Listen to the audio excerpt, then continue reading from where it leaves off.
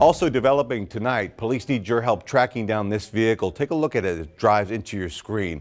Detectives describing it as a vehicle of interest in a deadly shooting.